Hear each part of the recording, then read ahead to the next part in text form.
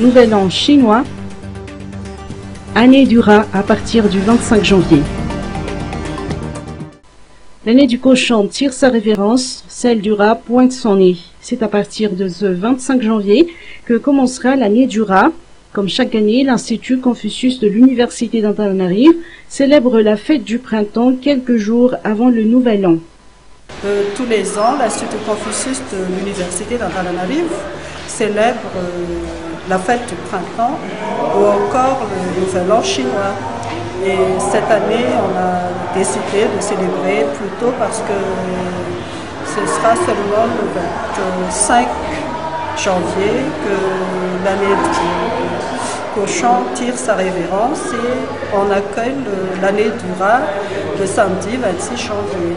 Pour les Chinois, le rat, euh, ceux qui sont natifs euh, de l'année du, rat sont des gens euh, aimables, conviviales, qui, ont le don des affaires.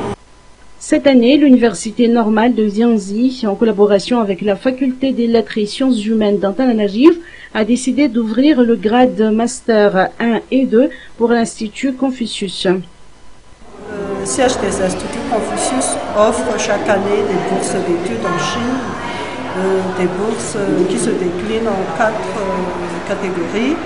Une bourse de 4 ans pour la licence, bourse de master deux ans, de deux ans, bourse d'immersion linguistique d'un an ou de six mois.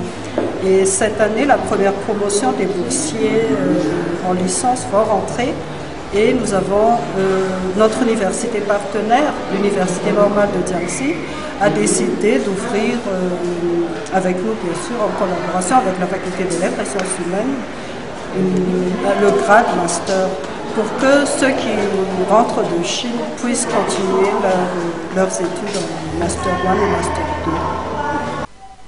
Des remises de bourses d'excellence et d'encouragement d'un montant de 5 millions d'arias aux 20 jeunes meilleurs étudiants de l'Institut Confucius ont marqué la célébration.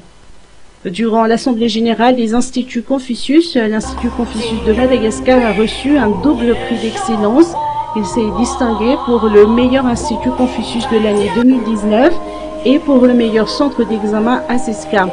Dans le monde entier, 550 instituts Confucius sont enregistrés. En Afrique, Madagascar est doté du meilleur institut Confucius grâce à la qualité des formations dispensées.